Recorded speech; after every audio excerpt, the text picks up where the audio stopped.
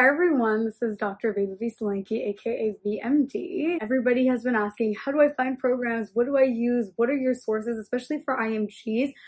Trust me, I know the struggle, but that's why I'm here to help you guys. So this video is gonna go through how I found programs and also how I researched a lot about program eligibility, requirements, and all of that fun stuff that everybody wants to know at this time of the application season. As always, video timeline is in the link below. You guys know what to do. Comment, like, share, subscribe. And without wasting any more time, let's get right into it to make sure you have your golden tier list of the programs that you want to apply for. Yes, they can be expensive, and that's why it's important for you guys to research the program well in advance. If you haven't already, right now that the token just opened, this is the best time to start looking for programs because if you have your list in advance, then all you have to work on is your ERAS application and it's going to go smooth sailing from there if you start early, aka if you start now video is going to talk about the three sources I use. Use Freida, which is AAMC's database on programs. And what I'm going to do is I'm going to show you screen share going through how I personally use Freida and how I did it last year. The second source I'm going to talk about is Residency Explorer. This is also a database where you're going to put in your personal information and make an account. It's the same as ERAS.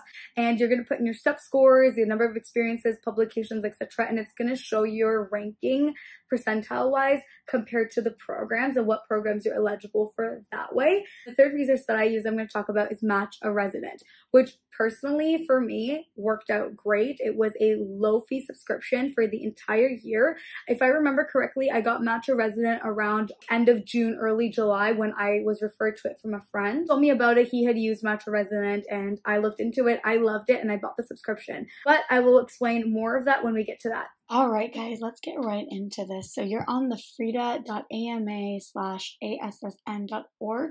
When you log in, you can see right up at top, there's the COVID-19 resources for you guys applying this year. Um, so you can hit stay informed here for more. You can sign in here to save, um, you know, the programs that you're looking at. But in order to do that, you need a members you need a membership to AMA. So you can check that out here. So when you log in, this is what Freida shows you. Again, you can you know do the residency calculator here, which actually there is an Excel sheet that you can download for free and there's a bunch of cool things on here. So let's just give my example, right? When I was applying last year, um, I applied to internal and family. So I can look up internal medicine. When we see, when we log into internal medicine, you see 565, right? And you want to make sure you're hitting residencies, not fellowships. There's a list of these things on the side are basically your parameters that you're going to be using to evaluate which programs are going to be fit for you and not. I'm going to act like this is exactly how I'm doing it and how I did it last year. So for me, I would, you know, hit internal medicine here. The locations, if you have specific locations, this is a great place. It goes through all of the states as oops, as well as um, you know, looking for east, west, whatever it is. But for this sake, let's just, you know, try to eliminate 565 down to my list, not worrying about geographic location. Application info here, I didn't even touch much of this. And, you know, COMLEX is if you're a DO, USMLE is if you're MD. So I didn't even, I honestly didn't even touch much of this. Um, because remember, you're going to go through each of these websites after as well. Program type, if you, you know, have a preference, university, community-based, military-based, um, DO recognition, then you can go through that. Special tracks, again, I didn't do much of this. So these three I didn't click much. I did go through locations here for myself, I was going to be on a J1 visa, so I hit J1. And you see automatically that brings it down to 383 programs. And remember, this is just hypothetical based on my own portfolio. This is a part that's really important. I want to really like highlight it here. I'm going to zoom in. For IMGs, right, me coming from SGU the Caribbean, being a um, you know, international it's actually technically foreign international medical graduate. That's why I have my J1. If you went to the Caribbean, but you're American, obviously you don't have to click any of these. But if you're from any other country, you have to click either H1B or J1 visa. H1B qualifies once you've completed step three. J1, like myself, who hasn't completed step three, um, that's where we fall into the category. The only real difference between these two is that J1 has a um, two year sort of return of service in your home country. You guys can, you know, look this up more. You can Google J1 versus H1B visa. You'll get tons of resources. So the main thing is here, right? Um, if you're US versus IMG. So for me, I personally made sure that any program I was applying to had more than 10%. And look at that. That automatically brings it down to 249 results. Okay, so we went from 500 something to 200. First year salary, don't worry about this. Average work hours, don't worry about this unless you're super picky about these things. I didn't. And even first year positions, I didn't really worry about this. So now that I'm at 249, right? Everyone's, this is to like, you know, really depend on your budget. I would go into map and you can sort of zoom in here. Zooming in really um, accentuates the, the location and the numbers. So I can see that I have a couple on the west coast, I have a couple here, uh, a couple on the south as well. Wow, Miami has 10. There's a bunch in New York. So automatically when you do this, you can see which areas are like hubs for IMGs. And actually, a lot of people in IMGs or FIMGs do end up in these exact locations. Uh, California, not so much from my own experience, but overall. Now, I had friends that, you know, their cutoffs was 5%. So let's go to a 5% cutoff. Right. Um, now I'm at 282. So that added like a few, I believe, if I, you know, remember the other one correctly. 255 to 82. That added like about 30 more programs. So just for the sake of this, 5%, you know, I'm at 282 programs. And I can really zoom in using, I love this feature on the map, you know, I mean, my family's from around here, Toronto, you know, Midwest area. There isn't much here. Again, don't be super discouraged. I did get, I did get a few, you know, um, quite a few interviews from programs that apply here. So that's why this is only one, Freida is only one of the many resources that you can use. So I can give you guys a proper example. Let's say, for example, let's click New York because this is where you're interested in, right? Um, I'm just going to pick anything. Let's just pick here um, Griffin Hospital Program. Completely random, unrelated. When you click it, you open up Griffin Hospital Program. It shows you location, gives you the address here, a key here. If you want to get in touch with the program, this is the where you're going to get the information, right? This all of this stuff here, I, I did skim through this, maybe not for every program when I was applying, but definitely for a, a bunch of them.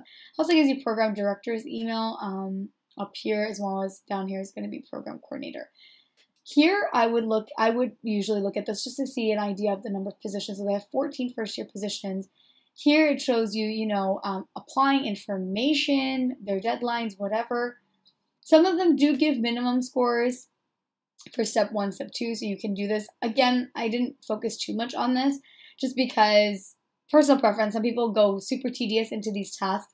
The real things I focused on was okay, is this going to be J1 or not? If you're going to focus on scores and stuff, that's where Residency Explorer is going to come in and be a bit more useful. For Freida, this was more just double checking that J1 is used or available, as well as, you know, looking at the, so this program here has 86% IMGs, you know, 50 50 female male ratio. So this is what I really looked at. I used Freida for those main things. Educational, work environments, I honestly did not even, I didn't bother personally. So this was just me. This is basically what I did. Um, again, let's, for the sake of showing you guys, if I put in family medicine, um, and you know, when I open it up, this is what I would do. And you got 696, making sure it's residency, location if you want to double check, Let's put J1. Let's put about 5% IMGs and looking at 189 programs for FM. Again, I always like looking at the map area. You see, like Midwest has a bit more FM front, F, IMG friendly um, FM programs. Same thing. I actually got a um, interview from this one here, just close I did. This giving, giving you great information about, you know, their their academic settings. But the main thing I would look at is positions. Okay, cool, good to know. And right here, just double checking. And then when I come down, I see that, okay, cool, they have 39.1%. So 40, I could probably apply here. This really depends a lot on your geography and a bunch of other requirements that you have. So Freida, my first resource that I use, and of course I learned about this from other upper termers, love this website, love this resource. And again, I would not just stick to Freida just because some things people are have known to, you know, catch some things are wrong or whatever it is, then the Residency Explorer. So Residency Explorer, you need to log into your account and you know, I, I love this website. I think it was such a great resource for me to use. You log into account, it's going to take you to your AAMC, which I'm going to then sign in, which is the same thing as ERAS. Beautiful. Residency Explorer just opened, you know, like I believe literally this week or last week. So here I can go to my profile and let's just, you know, let's make up, let's make up a profile here. How many work experiences? Um, I'll put my own stuff in. I had about three work experiences. How many volunteer experiences I had? I had a lot of volunteer experiences. I would say about 10. How many research experiences? Let's just go two to three. Peer-reviewed publications, I had one, and my applicant my applicant type was non-U.S. citizen IMG. If you are a Canadian, um, you also fall into this IMG. Of course, if you're from the States and you went to the Caribbean or any other place, you're going to be here, and then this is for AMGs. Then it's going to ask you my standardized exam scores. Which what scores would you like to use? And we're going to put in US. Then it's going to ask you your latest US MLE Step 1 scores. So uh, this you can put in here, keeping a little bit transparent. I had in, you know, the upper 220s, low 230s, and then I had about in the 240s for CK. Save and continue, and then it's going to take you and redirect you to right here, the results page. Now here I had already written, you know, internal medicine, so you can click up here on the right, and you can click what specialty you're applying for. So if I go for categorical IM, and I hit continue, you can pick any one that you're applying for here, and it's going to show you results as they're being calculated. Let's look at the side here. You can click specific states if you want. So if I'm going to go for New York programs, which I mentioned into, this is going to show me 53 results for programs here. Again, you can pick region. Um, you can put zip code, distance, whatever, and then I'm going to make sure down here, again, visas accepted or not, um, and I'm going to hit J1. So there's 41 results I have for just the New York area based on my stats. So here you can click up and down for, you know, program. This is going to go for alphabetical order. If you click here, this is going to show you, you know, from 0% to 100% how many of the matched applicants were non-USO FIMGs. And I'm going to put the arrow down, obviously, to see which one I have more chances of matching into. Then these things here, this profile comparison, you can literally click this question mark here and it's going to show you what they mean. This is what I was saying when I mentioned that they're going to sort of show you a percentile. So literally reading this off the screen, the following icons here show how your characteristics compare from their database of 2016 to 2020 applicants who match into each of these programs. I'm looking for ideally here is a plus, which means that I have above number of the, uh, uh, sorry, which means I have an above average range for the match applicants. I want to basically apply for programs that are between these two categories, okay? The dark red, the dark circle here, and then the plus sign, right? If it's if it's not shown, that the that means the comparison cannot be calculated. So literally anything that you see a question mark on these things, click it, right? I'm going to go back. Let's see here. Um, I'm going to put the arrow down, which is going to show me the most percentage of IMs. And then I'm going to go through and see, okay, let's see how many programs I am in the upper category. Going down, you see that, okay, cool. The FM Health Center and NYU Langone, it's 44% IMGs, and I had above average in the upper 25% of match applicants. I would, I would, I mean, for my purposes, I, I went from middle 50 to upper 25 to above range. I didn't really apply to anything that was lower 25%, but this is up to your discretion. This is just me showing you guys what I did. So Stony Brook, Southampton. Even though there's 5% IMGs, I am above average in their step 1, step 2 CK, in their research and their volunteer stuff. It also gives you the state, the city, and the region in all of this area here. Say, cool, Montefiore, Albert Einstein, the Wakefield campus here. I'm in, you know, I'm in the 50% of applicants in terms of my scores. They have about 70%. So I can click Montefiore. This is just an example, everybody. It shows you all of the contact information, the program code, which is going to come really handy when you're, you know, um, getting interviews as well as when you're going to put in your ranks. Program director, we have here coordinator's phone, and this same thing, it's going to show you positions. It's going to show you um, they participate in ERAS or not, their accreditation status, which is important. And this is what I love here on this it's going to show you application trends. So look at this, a Montefiore in 2020. So this past cycle that I applied to had about 4,967 applicants, and they offered 23 positions. And um, there's a little table here for you as well. This just gives you a good idea of the trends that this particular program is looking at. Here, this is what's going to show you the comparison of the applicants that have matched. So their current residence data sort of thing, this is what it's going to compare you to. Um, I don't know why it's not showing me step one, step two, but in terms of everything else, this is going to what it's look like. So I have one peer reviewed publication. This is in the middle 50% of the current residents that's that's been matched into this program. Volunteer experience is 10. That's like I'm ranking in the upper 25%. Work research, so it lets you compare everything. As you go down further, look at this. I have J1, yes, H1B, yes, the OPT program, yes. So this is good. This is a program that I would apply to, and I did apply to this program as well. And I'm also going to show you Honor Society membership. If you notice, if you haven't already noticed a pattern, this is ERAS's portal put into Match Stats data. All right, if you, let me repeat that again.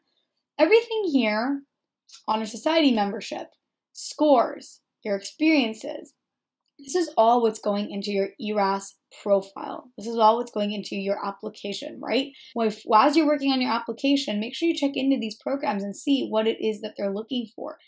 I didn't really pay much attention on salaries and benefits just because, you know, I, I just wanted to get make sure I matched into a good place. I would worry about all of that later. For everybody, it's different. You know, people focus on different things. Um, this is going to just talk about practice environment. You also have educational and research opportunities that it talks about, the demographics, backgrounds, training years. It even shows you literally like ethnicity of, of their residents, which I think, I, I personally don't think it's that big of a deal, but if somebody wants to look at that, they can. And then here, this is another thing I really, really loved. It's the medical school backgrounds. So look at this. This shows you where everybody came from. So if you're from Ross, you know, Philip Caribbean School, look at that. They have about three, um, you know, people from Ross in their program. If you went from, if you look at this, yo, shout out to Punjab Medical College. Three per people in their program are from Punjab Medical College. It's great. This is another golden, golden thing. Graduates of the residency program, where they applied to or got into after. This program, this website, I mean, is just absolutely amazing. If you guys have questions and you know, you here you can go ahead and you can explore programs based without your profile, just literally the same thing except you're exploring, and then you can compare programs as well. So, for example, let's say I want to compare uh, Rochester with the Bassett program. Okay, I can click those two here and I can hit compare. I'm going to open up and it's going to ask you what characteristics you want to compare programs to. Okay, let's say I want to compare applicant step one, step two CK scores, submit. That's all I want to do, okay, just example. Um, and then it's going to ask you to download an Excel file that's going to compare these programs, okay? Then you can download your comparison here. So I'm going to let you guys, you know, figure out the works, the tweaks about that. Up here is really great. Again, this is where you're going to click on to change your, um, you know, program application specialty. Here, if you guys help with this, you can literally look at their support hours. Here are the frequently asked questions. Go through that as well if you guys need extra help. So, Residency Explorer, loved it. Freida, using Residency Explorer and Freida, two extremely fantastic free websites. Awesome. So moving on into the third resource that I use, let's talk about Match a Resident. The story of how I came across Match a Resident, it was through a friend. My honest feelings about it was it was completely worth the price in my opinion. I was able to triple check at this point because I used Freida at Residency Explorer. Match a Resident was like my triple check of making sure that this was going to be my final list. And I bought two subscriptions at the time. So I think I paid around like, you know, like 140, 150 bucks from June to March of using the website. I bought the regular subscription, which I believe lasts you all the way up till match day. So that's quite a number of months for the price. I'm sure it like averages out to like maybe even like 10 bucks a month, which for me, I mean, if I can spend, you know, six bucks on Netflix, I can spend 10 bucks per month on a, on a subscription that's gonna help me find programs. I love the rank features this that it had, as well as I personally really liked that in Match a Resident's interface, other students have gone that have gone to that specific interview, write their experience about that interview. And actually speaking of that, I went back and I added my experiences for the interviews that I went to afterwards as well. So my information and my experiences are on the Match a Resident software. You go to matcharesident.com. This is what you see. Um, you know, you can go down and read more about it. It's been trusted by over 150,000 IMGs. It's been 15 years old, so that's super awesome.